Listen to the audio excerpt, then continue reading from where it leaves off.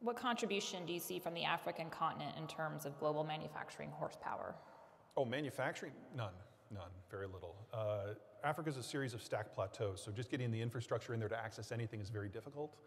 And while they do have very high birth rates and a more stable population structure, a lot of that is only possible because they export raw commodities and then import the things that allow them to have a degree of modernity. You break down global supply chains, a lot of that goes away. And so I think a lot of Africa is going to devolve. And they just don't have the infrastructure or the skilled labor uh, that's necessary to participate at scale. And even if they did, in a more, in a less robust security environment, the connections necessary to make that happen are going to be very thin.